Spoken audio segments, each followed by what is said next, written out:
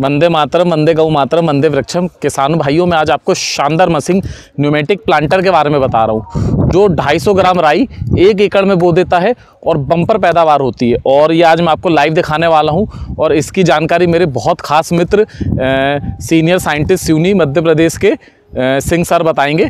तो आइए सबसे पहले हम चलते सिंह सर के पास। सर नमस्कार सर। नमस्कार। तो ये हमारे सीनियर साइंस सिंह सर हैं।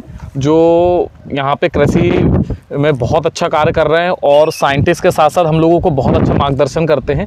तो आज आप सर सर के सानिध्य में ये पूरा लग रहा है मेड़ों पे। जो यहाँ पे आप मेड़ देख रहे हैं, ये चार फीट चौड़ी बनी हुई है और इस न्यूमेटिक प्लांटर द्वारा 250 ग्राम से एक एकड़ में बोएगी। इसकी पूरी संक्षिप्त जानकारी और इस मशीन की पूरी टेक्नोलॉजी के बारे में सर बताएँगे। तो सर, नमस्कार। थोड़ा सा इसके बारे में संक्षिप्त जानकारी नमस्कार, अंकित जी।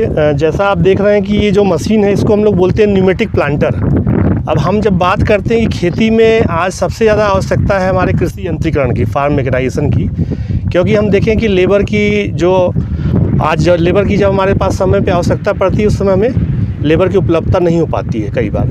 और अगर हम बुआई समय से नहीं करते हैं तो हमारी खेती में उत्पादन कम होता है।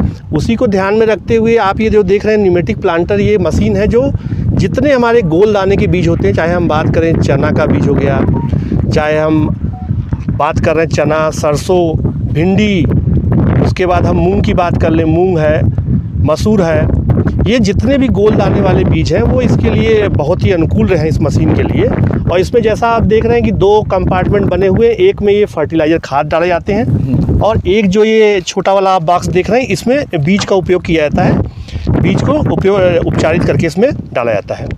तो ये जो आप देख रहे हैं कि इसमें सबसे पहले तो हम लोग एक बेड तैयार करते हैं चार फीट की बेड रहती है। और ये जो चार फीट की बेड है इसी पे ये मशीन जो है काम करती है बुआई का। और जब हम बेड बनाते हैं बेड बनाने के बाद सबसे पहले हमें क्या करना पड़ता है कि खाद का बॉक्स में खाद का उपयोग करना पड़ता है और बीज के बॉक्स में बीज का उपयोग करना पड़ता है। तो अभी हम लोग देख रहे हैं सरसों की बुआई यहाँ पे की जा रही है और ये जो सरसों की एक उन्नत किस्म है, आर एच ज़ीरो सात सौ उनचास, जो इसकी उत्पादन क्षमता है, वो अट्ठाईस से तीस कुंटल प्रति हेक्टेयर की है। साथ ही इसमें जैसे अगर हम पारंपरिक विधि से देखें तो पारंपरिक विधि से दो किलो बीज प्रति एकड़ का उपयोग किया जाता है और दो किलो बीज जब हम लोग बुआई करते हैं, सबसे बड़ी समस्या आती है कि सरसों का बीज बुआई कैसे की जाए। क्योंकि सबसे ज़्यादा किसान परेशान होते हैं, हम लोग छर्रा फेंक देते हैं। और जब छर्रा फेंकते हैं तो कई जगह घना हो जाता है और कई जगह पतला हो जाता है।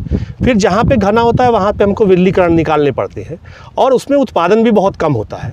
और अगर उसके बाद जब कई बार हम लोग सीड ड्रिल का उपयोग करते हैं, उसमें भी हमारे जो बीज होता है, बहुत कम मात्रा में, चूँकि दो किलो बीज रहता है तो सही तरीके से बुआई नहीं हो पाती है।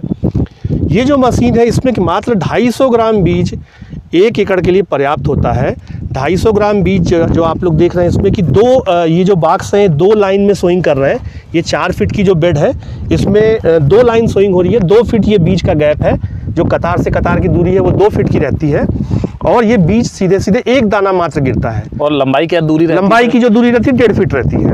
डेढ़ तो दो बाई डेढ़ फीट में ये जो बीज है हमारा गिर रहा है। और जब हम इस बेड पे जब बुआई करते हैं हम सभी लोग जानते हैं कि जब हम रेस्ड बेड बना के ऊँची उठी हुई बेड बना के जब हम लोग बुआई करते हैं तो उसमें हमारी फ़सल भी अच्छी रहती है उत्पादन भी बहुत अच्छा मिलता है। तो सर आप जो ढाई सौ ग्राम बता रहे हैं वो एक एकड़ के लिए बता रहे हैं? एक एकड़ के लिए मात्र। तो और पैदावार क्या मिलती है प्रति एकड़ सर? जब हम 250 ग्राम बीज का उपयोग करते हैं एक एकड़ के लिए तो जिसकी न्यूनतम पैदावार जो आती है 10 कुंटल से 12 कुंटल। और अधिकतम जो पैदावार है ये 12 से लेकर 18 कुंटल तक प्राप्त अगर जाती है। सर एवरेज 15 कुंटल भी मान ले तो क्या रेट में बिक जाता है प्रति एकड़ सर? अभी हम लोग देखें कि जो सरसों राई का जो रेट है विगत दो सालों से अगर हम देखें तो पाँच से छः हज़ार रुपये कुंटल से कम नहीं है। जी जी। तो अगर हम एवरेज पाँच हज़ार रुपये कुंटल भी अगर मानते हैं और बारह कुंटल का उत्पादन तो साठ हज़ार रुपये का हमको साठ का जो पंद्रह के हिसाब से अगर हम मान रहे हैं तो साठ से पचहत्तर हज़ार रुपए प्रति एकड़ किसान कमा लेता है। अच्छा सर बेड स्थिति में अपन को जैसे पानी देना पड़ता है।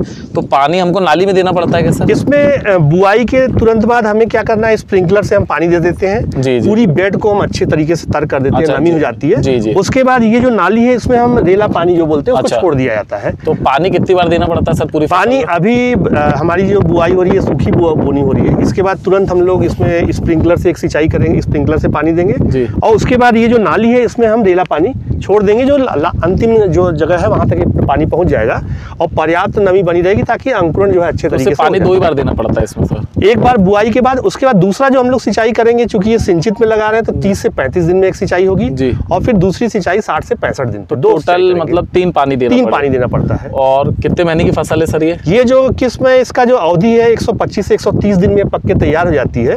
तो अभी मान लें आज हम लोग जो बुआई कर कर रहे हैं आठ नवंबर का दिन है तो ये मान के चलें कि चार महीने के आसपास हमारी आठ नौ दिसंबर ये 20 मार्च के आसपास ये हमारी पक और के तैयार जैसे सर इसको किसी को कटाई करना तो ये हार्वेस्टर से हो जाती है आसानी से आजकल हार्वेस्टर की सुविधा उपलब्ध है। हमारी जो सरसों की फ़सल है आसानी से हार्वेस्टर से इसकी कटाई हो जाती है। तो कटाई में भी हमें कृषि यंत्र का उपयोग कर लिया और बुआई में भी। तो इसमें हमारी जो लागत भी हम बात करें तो लागत भी जो आती है सरसों एक तो तिलहनी फ़सल है।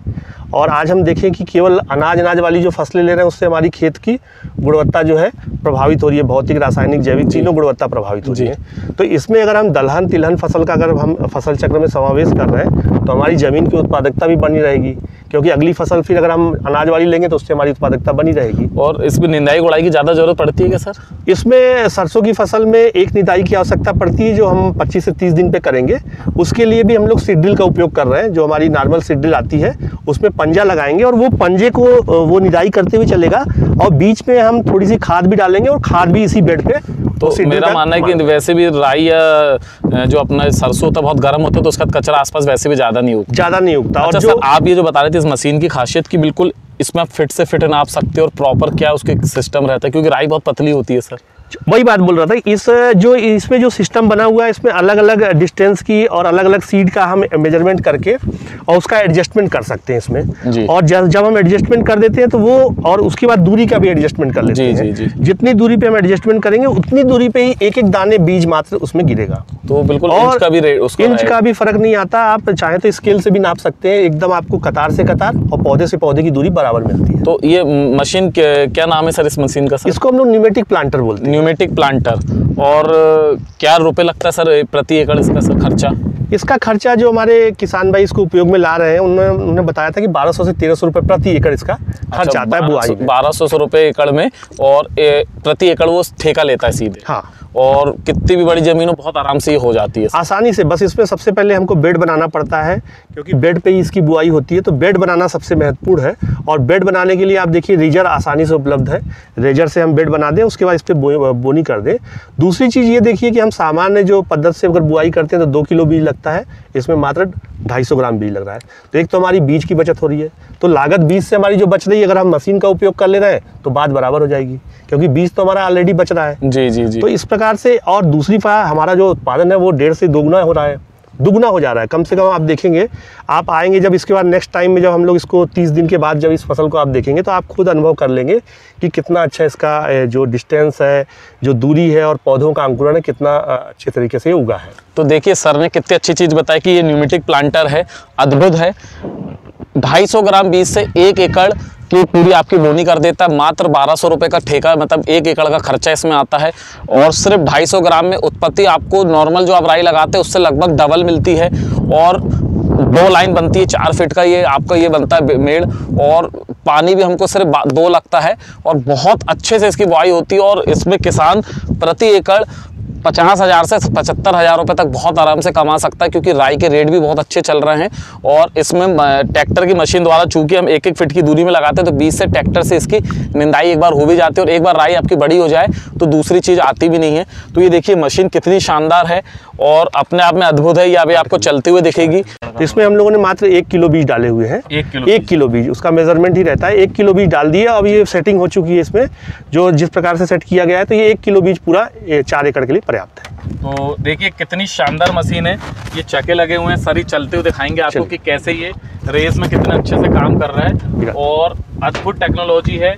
ये न्यूमेटिक मशीन आपको हर जगह अवेलेबल हो सकती है। आप थोड़ा सा पता करेंगे तो शानदार मशीन है और बिना खर्चे के इतना शानदार काम कर सकती है। मैं सिंह सर को फिर से बहुत बहुत धन्यवाद दूँगा कि उन्होंने इतनी अच्छी इन्फॉर्मेशन दी। और इसका आगे का भी वीडियो मैं पूरा दिखाऊँगा। ये पार्ट वन है कि कैसे ये रे, कैसे इसकी बड़ी होती जा रही है, कैसे इसकी हम निंदाई कर रहे हैं और कैसे अब इसमें फ़सल पैदा मिल रही है। तो अद्भुत है, शानदार टेक्नोलॉजी है। और सर को मैं फिर से धन्यवाद दूँगा सीनियर साइंटिस्ट सर को, कि इतनी अच्छी टेक्नोलॉजी बन रही है। देखिए मशीन चल रही है।